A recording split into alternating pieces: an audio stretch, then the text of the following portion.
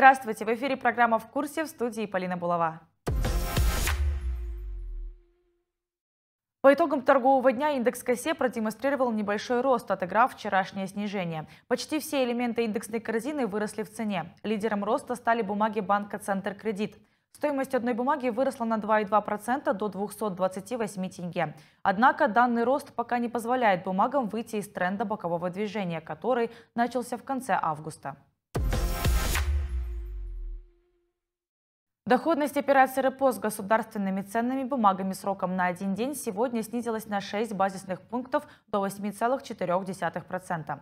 Доходность однодневных долларовых свопов выросла на 28 базисных пунктов до отметки 8,1% годовых.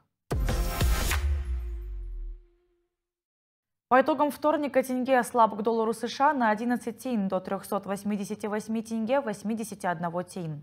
Фактором сдерживания роста курса тенге к доллару США выступает возвращение оптимизма в нефтяные цены – Цены на нефть марки Brent растут выше 62,5 долларов США за баррель в ожидании новостей о торговых переговорах между США и Китаем. Однако рост добычи нефти в Саудовской Аравии, который усиливает опасения по поводу избытка предложения, сдерживает цены.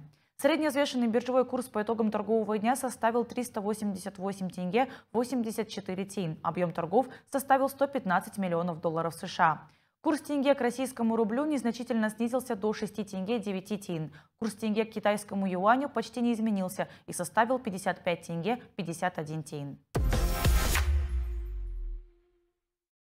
Это была программа «В курсе». Увидимся после следующей торговой сессии.